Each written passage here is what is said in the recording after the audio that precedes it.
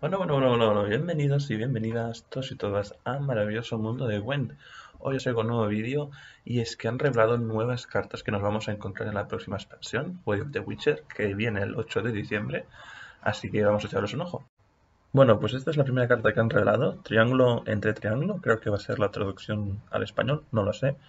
Es un hechizo y es neutral, por lo que lo vamos a poder jugar con cualquier facción.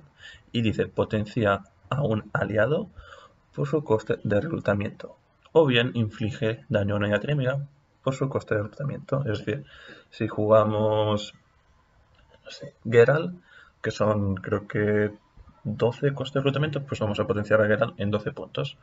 Pero si el enemigo tiene, mm, no sé, Auron, que son 13 creo, pues le vamos a infligir 13 puntos de daño. Así que bueno, es una carta muy versátil, podemos potenciar a una unidad aliada o bien podemos destruir una enemiga.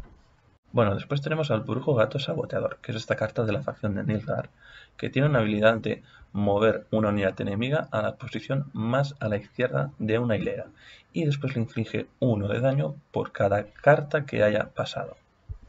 También tenemos esta carta táctica de Nilgar, armas recubiertas, armas revestidas, no sé muy bien cómo ser la traducción, y dice que daña a una unidad en 5 puntos. Y si activamos la habilidad de golpe letal, la destruimos y generamos una copia de esa carta en la primera posición del deck del rival. Bueno, pues entramos ahora en la facción de sindicato y nos encontramos con el experimento fallido que dice que a final del turno perdemos una moneda. Si no tenemos monedas, va a perder un punto y si está envenenada no va a activar ninguna de estas dos habilidades. Otra carta que han revelado hoy es esta, Cosimo Malaspina, el cual tiene una habilidad de despliegue que dice que transforma las unidades adyacentes en unidades aleatorias que cuesten uno de reclutamiento más. Es decir, si tiramos Cosimo Malaspina entre dos unidades de coste de reclutamiento 4, va a transformar esas dos unidades en dos unidades aleatorias de coste 5. Vamos ahora con Reinos del Norte y nos encontramos al brujo adepto Grifo, el cual tiene un escudo y una habilidad de orden. La habilidad de orden dice que transforma a un aliado en una copia de brujo adepto Grifo.